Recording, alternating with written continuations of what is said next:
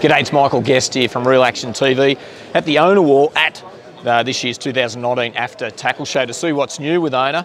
Uh, one of the big ones are the welded quick snaps. Ideal if you don't like tying knots, and look, let's face it, who does at the end of the day? Uh, they've got some cool quick snaps there that you can change your lures over. They're uh, super strong, very, very light, and uh, they let you, especially your hard body lures, swim with a real cool natural action, so check those out.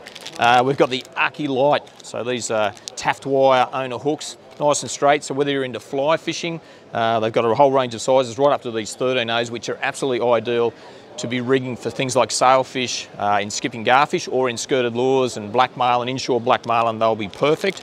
And then flashy swimmers have been around for a while now with what we call a willow blade. These ones have got the Colorado blade in them. A, they're gold, so the other ones are silver. These ones are gold this year and they're the Colorado blade, which means you can just wind things like hollow, Berkley hollow bellies, for example, nice and slowly for things like Murray cod and barra, and still have that flash and bling going on. Just let you slow the action down. Check them out.